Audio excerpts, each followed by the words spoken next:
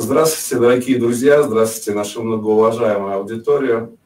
А, человек, с которым мы сейчас встретимся, широко известен как автор и исполнитель.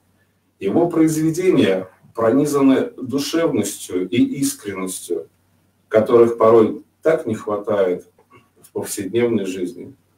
Лауреат премии «Хорошая песня», дипломат первого международного фестиваля эстрадной песни и шансона «Музыка белых ночей» Александр Кирс, с, с которым мы встретимся после небольшой музыкальной паузы.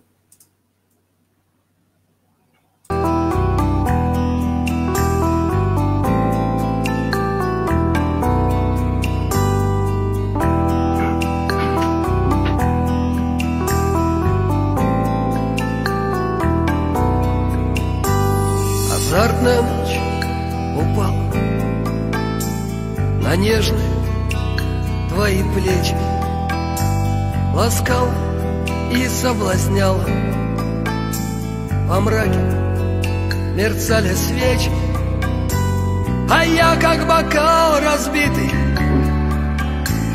От ревности глупой на части Люби коктейль ядовитый. Я выпью с тобой за счастье А я как бокал разбитый От ревности глупой на части. Люби коктейль ядовитый. Я выпью с тобой за счастье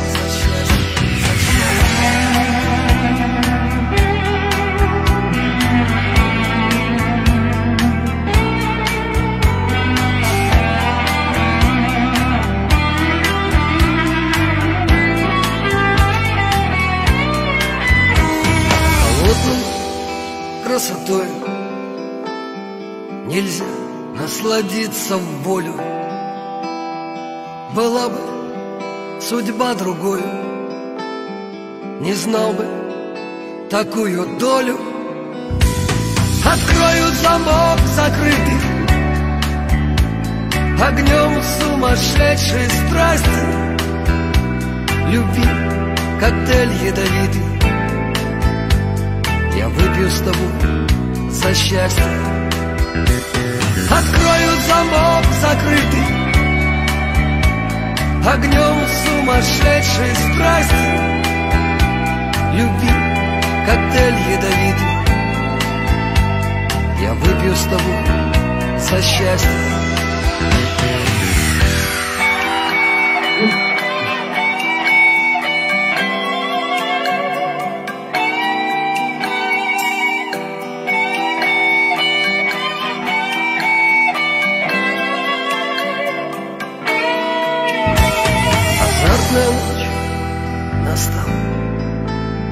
Во мраке пылают свечи. Весна, как бальзам опохмельный Пусть раны мои залечат И хоть еще не забыты Обиды, тоска, ненастье Люби коктейль ядовитый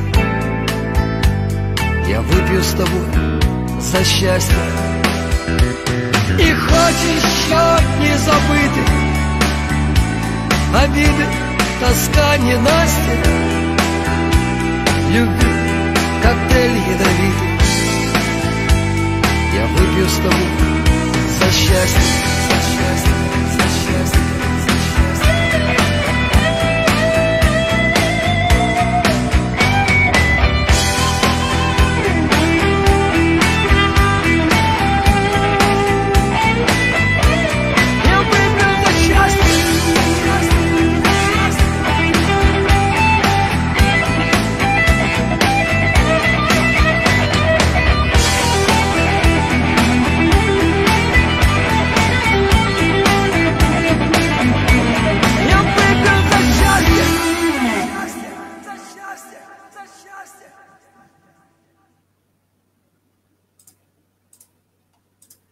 что ж, дорогие друзья, встречайте а, в, у нас в прямом эфире Александр Кирс. Привет, Саш. Кстати, привет, привет. я еще что забыл сказать, что ты еще участник второго фестиваля русского шансона в Англии. Вот. Я очень приятно был удивлен, и э, как тепло меня встретили. И, то есть я очень тепло вспоминаю это все. И спасибо, Володя, за приглашение. И спасибо Наташе Галич, что она нас свела. Так, это правда.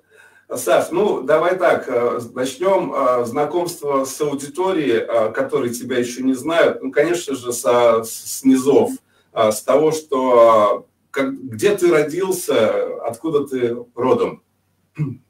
Родился, вырос и женился в Риге.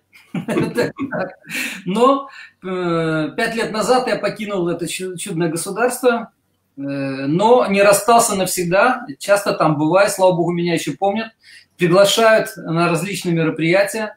И я всегда с охотой еду туда и рад всегда встрече с Латвией. Понятно, понятно. Саш, а что подтолкнуло или кто тебя направил а, в, в, в мир музыки? У тебя были, может быть, родители музыкальные люди? Э, ну, как тебе сказать, в принципе, родители у меня э, к музыке отношения особого не имели. Папа когда-то мечтал на домре научиться, но так и, мне кажется, не получилось. Вот, э, так что, ну, мама мне рассказала, когда мне, я только начал ходить, она пришла со мной к подруге, и когда я увидел гитару, я пошел прямо к ней. Вот, наверное, тогда это все зародилось. Ну, а дальше путь был не такой простой, потому что как-то меня перебывал спорт больше, чем музыка, и, в принципе, да, ты, ты я рассказывал, ты... Э, даже дошел, дошел до сборной Латвии по хоккею юношеской. Вот. Э, ну, музыка всегда была у меня в душе, и всегда я не забывал, что э, такое явление, как музыка, присутствует. Она была всегда со мной, и слава богу, и до сих пор. Скажи, Саша, а где ты учился музыке? Ты закончил какую-то музыкальную школу? Э, нет, я закончил Рижский политехнический институт. так что, ну, а музыка? Самоучка? Да, музыка, ну как тебе сказать, музыка. У меня как-то само собой сложилось. Э, получилось так, что мой однокурсник, одноклассник, вернее, еще, он как-то меня заразил этой музыкой. И получилось так, что моя хоккейная карьера подошла к завершению и плавно перешла в музыкальную. Э, то есть одну клюшку деревяшку, скажем, сменил на другую, на гитару. Вот. Ну и как-то пошло, начал сочинять где-то в лет 18, наверное. Потом начались какие-то выступления, э, потом нас стали приглашать на какие-то мероприятия, свадьбы, юбилеи. Ну и так как-то постепенно. И по, по окончании института э, стал уже подрабатывать музыкантом, ну, более серьезно, скажем, я попал в Дом семейных торжеств, чекуркался где-то, отработал там. Я там был не раз. Жалко, не встретились тогда. Э, а может, и встречались, знаешь, только тогда. Да, ну я был без бороды, кстати. я решил... Ах, вот почему я тебя не узнал. Я решил не выходить из э, этого, ну, скажем, из, из карантина сразу так быстро. Я решил немного я отращу, покажусь, а потом сбрею на днях. так что так. Ну вот, и, ну и так вот постепенно из профессии, скажем, из э, увлечения немного по чуть-чуть, по чуть-чуть переросло, переросло в профессию. Я стал больше сочинять, работал в ресторанах, и в хороших очень ресторанах тоже работал. Э, и мне очень повезло в этой деятельности, что я встретил очень шикарных музыкантов на, своих, на своем пути. Даже я попал в такой коллектив, как э, в ресторане «Лира», это был очень шикарный музыкальный коллектив, и руководитель этого коллектива даже участвовал в записи по волнам моей памяти э, Алек Фельберг. Вот. Сейчас он в Америке. Ну, честно говоря, он очень много дал. У нас не было ни одной репетиции. Все сразу, сразу в бой. Все это было. И, ну, они профессионалы высшей марки были. Э, вот. И, в принципе, как-то так все сложилось очень замечательно, и я много чему научился от них, абсолютно без репетиции. Просто это люди, я благодарен им за это. Я даже думал, как я буду работать без них. Вот вроде как я и так был руководителем и частенько создавал свои группы, было все, как бы я у руля находился. Ну, а тут э, такой рулевой попался, что я думаю, ну, да, как я теперь буду? Ну, честно говоря, так вот впитал все, что они мне дали – очень быстро, и мне очень пригодилось это в жизни.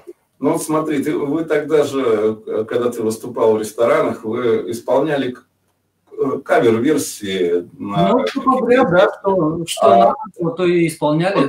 И в дальнейшем э, это все тебя и подтолкнуло самому писать стихи и, и стать автором многих песен. Нет, Володя, это произошло гораздо раньше, еще до ресторана. Я только еще взял в руки гитару, это ну, только на, еще не умел ничего там толком делать, но, но уже начал сочинять. Странно, но до сих пор есть некоторые песни, которые они актуальны и сейчас. Вот. Э, так что нет, творчество не связано с ресторанной работой. Просто э, ресторанная работа была в то время, во-первых, трудно было туда попасть, потому что вроде музыканты были привилегиоры, э, ну, в общем-то, у них приоритет был хорошая работа, хорошая оплата, и туда было не попасть, особенно начинающим. Там все свое, своя была, и эстрадно-концертное объединение, и так. Ну, в общем, короче, у каждого свой путь. Но потом я уже э, попал на телебашню, Роза назывался ресторан, это в 90-е годы, да, где-то, да. А, я, я, помню, я помню этот ресторан. Вот, то есть э, открывал его Митрохин, а потом он уехал, по-моему, в Питер. И после Митрохина вот э, получилось так, что я, кстати, еще работая в банкетном зале, у нас коллектив был такой очень, очень слаженный. Мы даже ездили на, на гастроли по Черному морю. Э, но получилось так, что вот волна иммиграции, у нас в коллективе были евреи не только, вот, да, то есть и вот эти вот э, два еврея, которые самые основные были у нас, вот, э, пианист Виктор Гогберг, он уехал в Израиль. Позднее уехал бас-гитарист в Америку. И, в принципе, мы распались, потом барабанщик, остались первые без работы, в 90-е это барабанщики, но у него работа была неплохая, он был в финансовой компании неплохой, так что все нормально, он и сейчас неплохо себя ощущает. Вот, но в музыке остались из нашей группы мы в основном вдвоем, ну так, чтобы вот как-то работали. Вот э, у меня Евгений Бадудинов, мой друг, э, в Риге до сих пор трудится в этих, во всех, в эту, по этой стезе. Э, вот. А я тоже этим занимаюсь до сих пор, но не в ресторанах. В ресторанах как-то я, честно говоря, наелся всего этого. Но на корпоративах, на юбилеях, это не так часто, как в ресторанах бывает. Но, тем не менее, зато приятнее, не надоедает. И главное, что ты можешь принести людям пользу, радость какую-то и создать праздничную атмосферу. Ну, понятно. Я э, хочу напомнить э, нашей аудитории, что вы можете в прямом эфире задавать вопросы, и я их буду выводить на экран, и Александр на них ответит. Саш, э, я, может, ошиблюсь по срокам, но ровно 15 лет, по-моему, вышел э, твой первый альбом «Открой, швейцар, пошире дверь». А сколько альбомов написано на сегодняшний день? Ну, написано гораздо больше, чем вышло, да. Ну, вот я покажу первый, который мне, я как раз приготовил, чтобы так, не быть голословным. Вот он, родной, дорогой. Я к нему шел очень долго. Это новый? Нет, это старый. Это а, самый это... старый. Благодаря а. этому альбому я попал потом в Юрмалу. Это и... я Да, да, да, да, да. Вот, и э, в, в, так, в 2005 году ты выступал в Юрмале на одной сцене с Вилли Токаревым. Что это было за мероприятие? А расскажи нам поподробнее. Ну, во-первых, там э, не только Вилли Токарев был, я вообще туда попал э, как в сказку. То есть э, там звездное, вообще созвездие, можно сказать, созвездие звезд, если так масло масляное, то я могу так а сказать. А что, это, что, это было, что это было за мероприятие?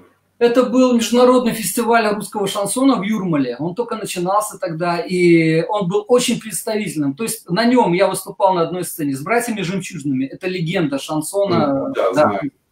Вот, э, дальше. Э, значит, Вилли Токарев, Царство Небесное, замечательный человек. Э, Шуфутинский, Осмолов, Амирамов, потом Жека, Петлюра, сейчас э, еще э, полотно с Кармановым, медяник, в общем, весь, э, все сливки, скажем, шансона. Позднее выступал на этом же фестивале и даже с бутыркой. Вот. Так что Ждамирова я видел еще до передачи с, тобой, с тобой выступал на одной сцене, но он меня наверняка не помнит, потому что я это запоминаю, потому что у меня меньше таких выступлений было. Ты, же, ты, сам, ты же сам говоришь, ты тогда был э, без бороды, поэтому а, ну, не запомнил. Или с бородой наоборот, поэтому, наверное, не запомнил. И на два метра выше. А вот оно, видишь как. Ну, да. А, Саш, а, а, расскажи, пожалуйста, про твой альбом «Шалом Аид».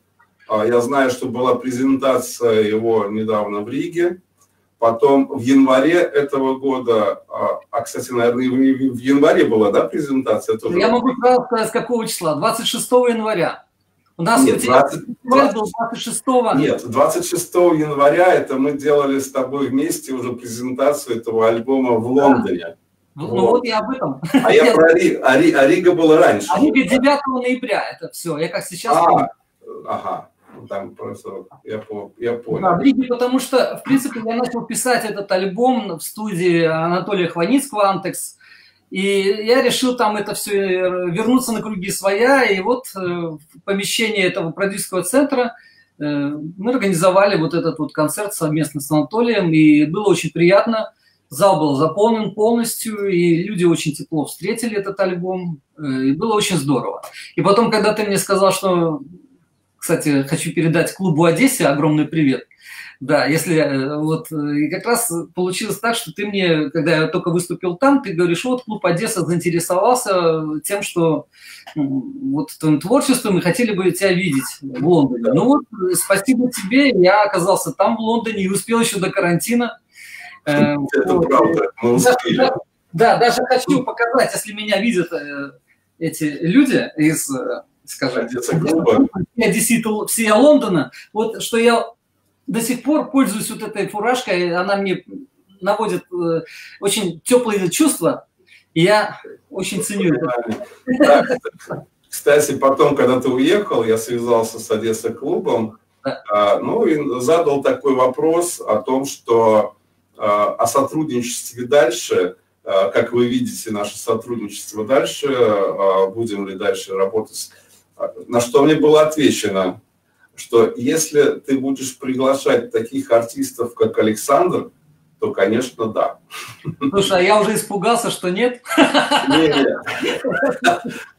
Я бы это не озвучивался. Ну, расскажи нам про этот альбом. Ну, этот альбом у меня многострадальный. Ну, во-первых, у меня получается так, что я э, половина моей крови русской, половина еврейской. Э, то есть я могу в субботу не работать, потому что евреям грех, а в воскресенье, потому что русским. То есть два в неделю я могу отдыхать. Ну, приходилось в Риге работать и в ресторанах, и еще на нескольких работах, чтобы можно было как-то выживать, и чтобы семья была более-менее в достатке. Ну да. Вот. Э, поэтому для меня этот альбом очень ценен. И получилось, я даже не знаю, как... Э, я не сильно стремился к нему, а, первая песня получилась как раз на день рождения моей бабушки, а моя бабушка была легендарной личностью. Кстати, 9 ноября, вот тоже она ушла из жизни, к сожалению, и вот получилось, совпало все-таки вот это 9 э, как раз то, что в презентация. И первая песня была «Лыхаем Фейгла Лыхаем». И вот именно вот в этот день это она мне пришла. Ну и потом как-то постепенно, постепенно я оброс песнями. Вот. И сейчас у меня еще, кроме этого альбома, есть еще материал на пару альбомов. Да? То есть просто руки не доходят до всего сразу. Приходится много чего делать. И, кстати, хочу сказать, что то, что касается коронавируса, э, нет худа без добра. Вот для меня он, как бы, слава богу, все живы и здоровы. Вот в нашей семье и в окружении, и друзья – но тем не менее вот мне он и моей семье очень пригодился, потому что э, где было столько времени э, найти, чтобы заниматься творчеством. Кстати, вот и благодаря этому я смог и сделать и песню Великобритания, и «Ты же лучше всех» в твоем исполнении, чтобы наконец-то мы ее, ты ее, вот сегодня я надеюсь... Э, Об этом я расскажу чуть позже. Сейчас, кстати, мы можем людям напомнить одну из песен твоего альбом э, «Шалом Аид», и э, да. сделать маленькую музыкальную паузу. Да-да-да, но это немного не... Э, Володь, да. немного, чуть-чуть этот, эта песня не, ходит, не входит в альбом. То есть а. я чуть-чуть еще вот займу пару секунд. Так, У меня, значит, есть визитная карточка песня «Моя рижанка» которая до сих пор звучит на рижских радиостанциях. Ну, не скажем, что часто, но бывает. В поздравительных программах. Кто-то помнит, и, слава богу, меня иногда даже из-за этого и приглашают приехать в Ригу. И вот. И это как бы моя визитная карточка, рижская. А теперь моя берлинская появилась. Э, то есть я написал песню «Мадам, вы были на Кудам». Кудам – это э, ну, очень красивый бульвар Кюфюстендам в западном Берлине, э, самая буржуазная улица, дорогие бутики и так далее. И вот э, я что-то навеяло на мысль, что почему бы мне не сочинить песню вот про вот это все. И так что теперь у меня для Берлина тоже есть заготовка. Так, ну, так. И теперь можно слушать. Да, я еще хочу обратить внимание нашу уважаемую аудиторию. Вот в бегущей строке написано о том, что все песни Александра Кирса вы можете а, послушать в Ютубе, набрав Александр Кирс, и также на страничке ВКонтакте. В бегущей строч... строке вот это есть информация. Итак, мадам, мы были на куда? Вы были. Вы были на куда?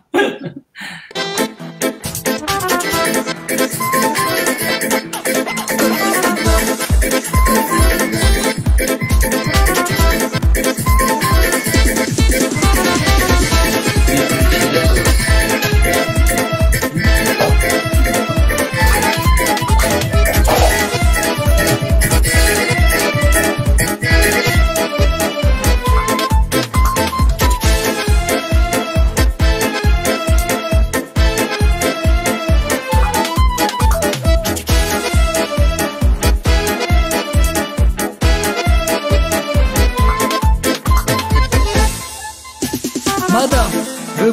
Куда? И вы не знаете бульвар Курфюстендам? Как и ни разу не бывали никуда? Ой вы, ну что же вы, мадам? Мадам, вы были на куда? Чтоб я так жил, совсем неплохо там Ой, боже мой, у вас шикарные манеры Вам не хватает так и этой атмосферы Атмосферы, атмосферы, атмосферы же кодам Вернись в бульвар Курфюстендам Конечно, он чуть-чуть не как в Одессе, как в Одессе. Но буржуа есть и при шляпе, и при весе. Конечно, он чуть-чуть не как в Одессе, как в Одессе. Но буржуа есть и при шляпе, и при весе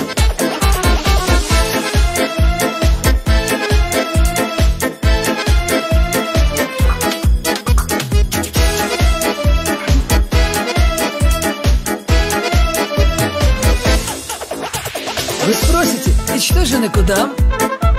Миллионеры свой гишет имеют там Роскошные авто и блеск реклам, и блеск реклам. Что говорить?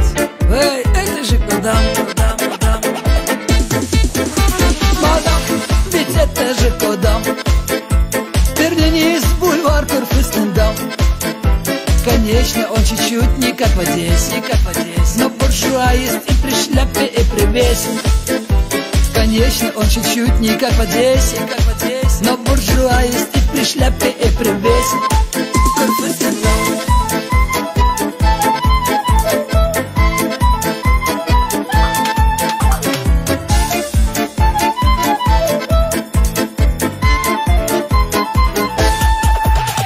Мадам, вы были на куда?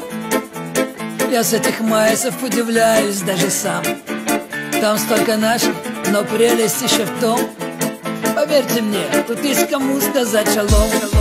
Поверьте мне, тут есть кому сказать шалом. Мадам, ведь это же кодам. Вернее, из бульвар Курфюстендам. Конечно, он чуть-чуть не как в Одессе, как в Одессе. Но буржуа есть и при шляпе, и при весе. Конечно, он чуть-чуть не как в Одессе, как в Одессе. Но буржуа есть и при шляпе, и при весе.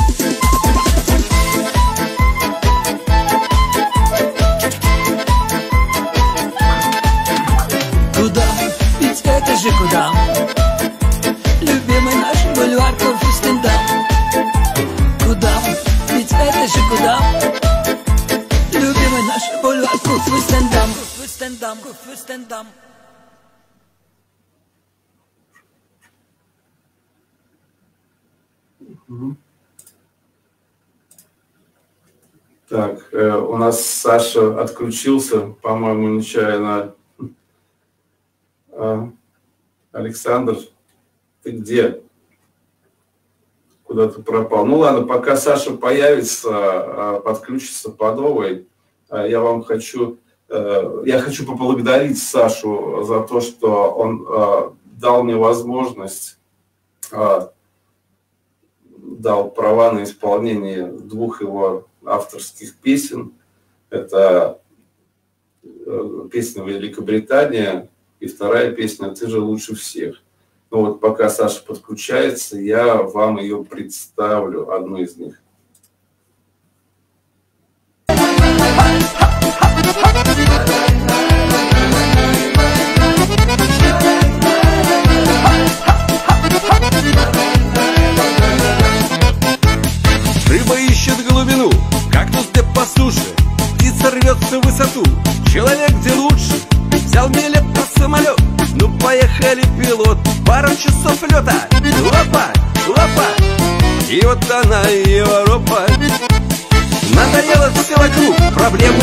И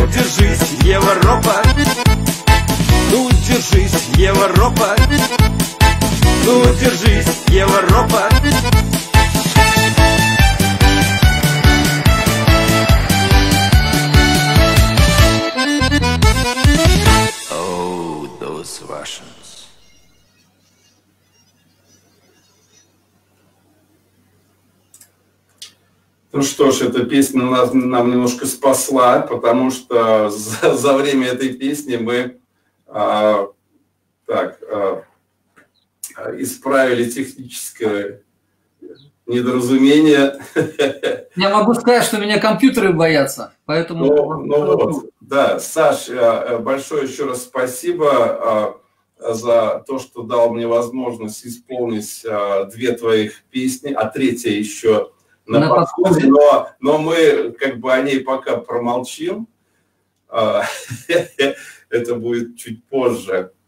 А, Саш, И, Володя, огромное спасибо тебе, да, потому что мне очень приятно. Эту песню я сочинил довольно давно, но я надеюсь, что она наконец-то услышит. э, Ты найдешь свою аудиторию, э, потому что ты живешь именно там, и Да. это написано для тех, кто там, а я чуть-чуть э, немного в другом месте. Поэтому вот так. Спасибо тебе. Да, ну я, я рад, что у нас связь восстановилась. Саш, а какое событие в твоей музыкальной карьере стало для тебя самым запоминающимся? Вот значимым, ну, значимым самым. Ну вот, наверное, быстрее всего как раз-таки 2005 год, когда я попал на вот э, фестиваль шансона в Юрмале. Я потом 4 года подряд представлял еще Латвию, то есть э, до 2009 года.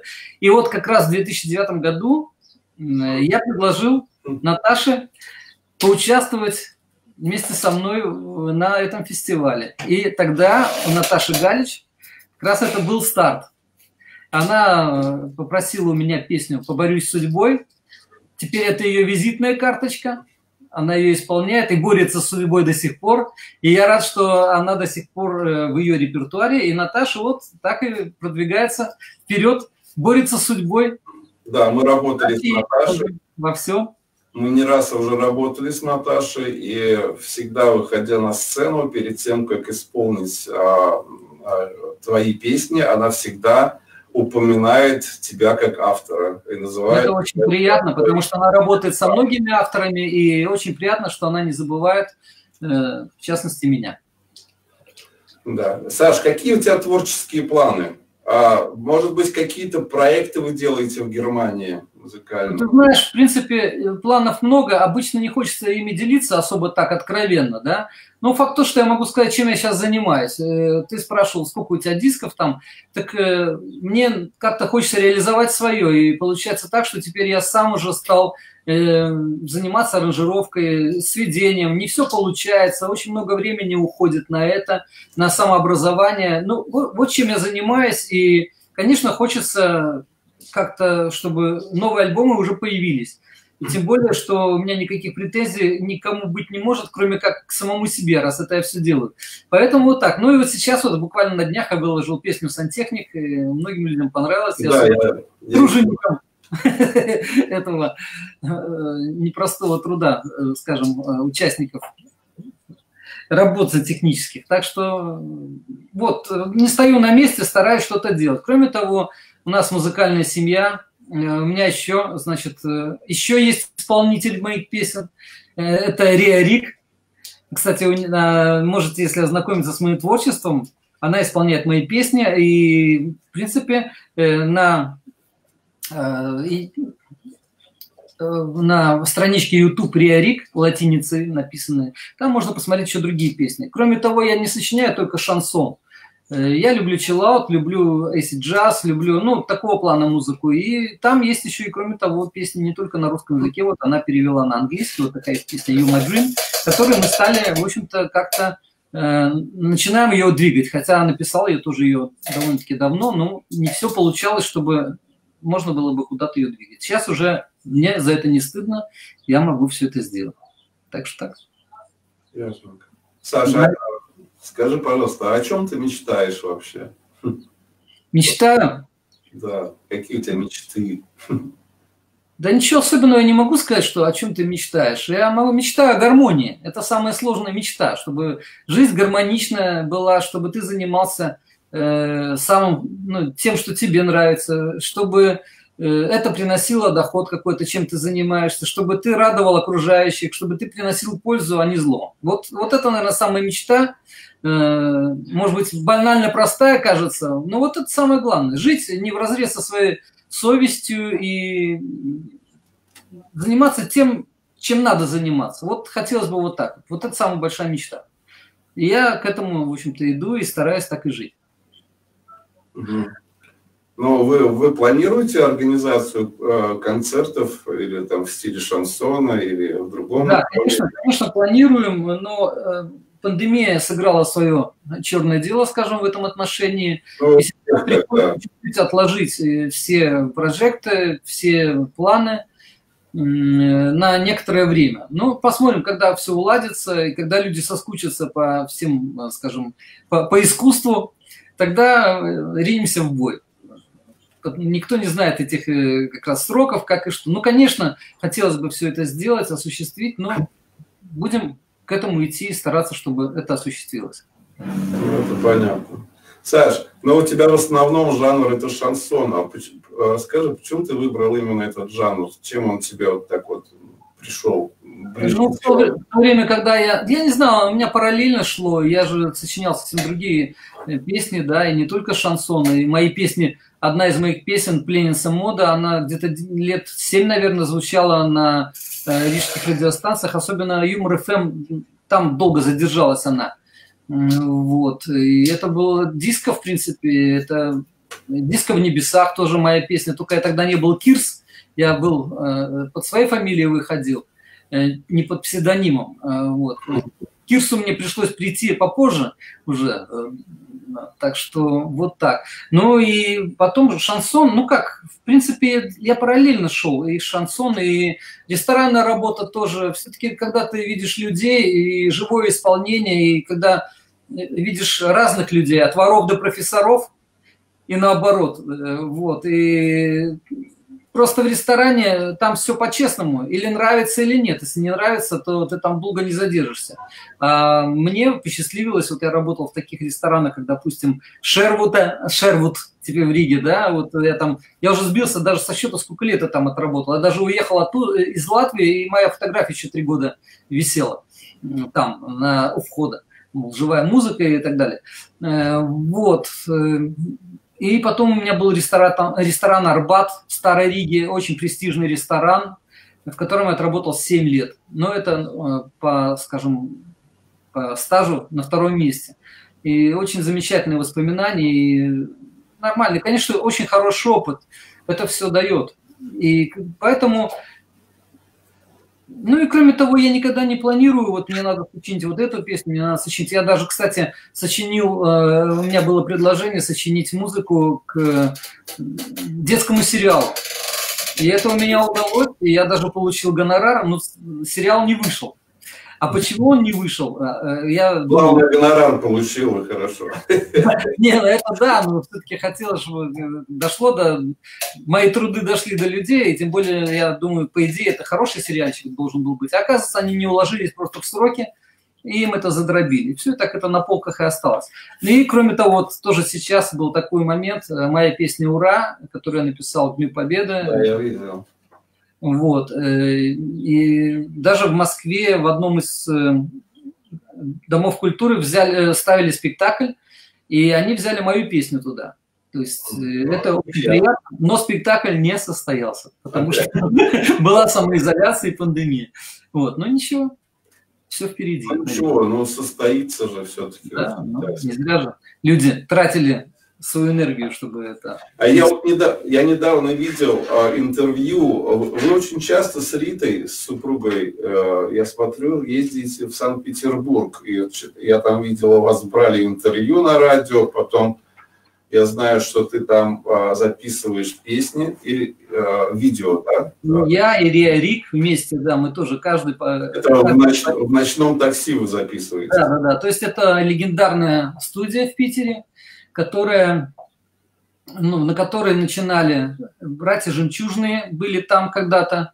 Аркадий Северный ну, тоже имеет отношение полное, то есть это даже э, его родственники впоследствии как раз вот несут его памяти, и фестиваль Аркадия Северного проходит, мы как раз участвовали тоже там. Это тоже в Питере все? Да, да, да, все в Питере, и Розенбаум там записывался, и Круг там записывался на этой студии, то есть она была очень значима. Сейчас я не знаю, как там, что происходит, что значимо, что незначимо, что все в мире все меняется, но тем не менее бренд этот очень известный, и это почетно там поучаствовать. Так что мы приняли участие, и, в общем-то, кстати, вы видели сегодня одно из видео, на, э, песня «Я выпью за счастье», да, как первая раз, песня, кстати, да, была. Она, она была как раз там вот на этом фестивале. И кроме того, конечно, пандемия тоже отодвинула. Не знаю, если, конечно, э, по идее, были планы записать с дуэтом с Наташей Галич эту же песню. Но если ничего не, меняется и не в планах, вот, тогда все будет хорошо, и закончится это все э, название, э, под названием пандемия, и все это, надеюсь, вернется в свое русло. Да, да уж скорее бы оно закончилось, это под названием пандемия. Да. Ясно, Саш. Ну хорошо. Саш, э, что бы ты пожелал нашим соотечественникам в Англии, Германии и не только? Ну, я хочу сказать, что, конечно, жизнь иммиграции, особенно в первых пор... на первых порах, она не такая легкая, и все равно человек сталкивается с большими трудностями. Я хочу, чтобы каждый нашел себя там, где он сейчас живет. И чтобы у него была возможность посещать то место, откуда он уехал. Чтобы хватало финансов, времени, желания на это все. И, ну, в общем, хочу пожелать счастья людям и чтобы все складывалось по мере возможности, как они хотят. Потому что каждый человек творец своих мечтаний. Вот, наверное. А и вам я хочу сказать, вот, э, Володь, э, тебе и твоей компании, что вы большие молодцы, несете русскую культуру. Э, и, в принципе, я видел, как на фестивале люди радуются, они счастливы просто, потому что им не хватает этой культуры, они, они оторваны. И э, у тебя я видел, и, значит, и литовцев, и русских, и латышей, и поляков, и, в принципе, все были дружные, и, и никого, никакие вопросы межнациональные не затрагивали, все просто отдыхали и радовались тому, что они вместе, и есть что вспомнить. Так и должно быть. Да, и вот я хочу э, пожелать, чтобы это было, чтобы люди были дружны и более сплоченны. Да, я вот еще раз хочу поблагодарить действительно Наташу Галич, которая познакомила нас с тобой. А, а вживую мы уже познакомились с тобой на втором фестивале русского шансона здесь, в Англии. А, нам было, правда, приятно. Мне, мне было приятно с тобой познакомиться. Взаимно, взаимно, взаимно. С Ритой, да. Так что, а, хорошо, Саш, большое спасибо, что ты был с нами сегодня в эфире. Я пожелаю тебе, чтобы быстрее это этот коронавирус уже закончился, и ты опять э, начал э, то, что зародил, и то, что вот этот коронавирус помешал, и я думаю, что все будет хорошо. Спасибо огромное, Володя, и быстрее, тебе. Быстрее, быстрее бы, быстрее бы, быстрее бы. И, Володя, спасибо, да, огромное, да, тебе успехов, всего-всего. И, честно говоря, если я еще раз посещу мы с, с Рик как-то навестим вас на, и, и вы нас. Мы будем очень счастливы. Так что будем дружить и ездить да. друг другу. Ну вот сейчас тоже вот как бы фестиваль должен был быть сейчас осенью, но из-за коронавируса тоже непонятно. Ну да, говорят, вторая волна. Будет, будет он, или мы, нам придется его немножко сдвинуть ну ничего, в любом случае это состоится не, не в сентябре, в октябре, ну так, значит, наверное, там может быть в январе, феврале, неважно. Ну, ну и передвинемся, ну ничего, ну состоится в результате. Самое главное еще, кроме того, э, мы, например, если что-то у нас будет, мы всегда будем рады видеть и вас тоже. Так а, что, мы, а, да? а, мы, а мы только за. Да, Нас долго уговаривать не надо, Саша. Хорошо. И третья песня «Ждите». Англия, да. ждите третья песня. Это да. Владимира Виноградова. Да, спасибо, спасибо. Спасибо, Саш, тебе огромное. Здоровья тебе и твоей семье. И больших творческих успехов. Пока-пока. Взаимно. Пока-пока. Все, до свидания. До свидания.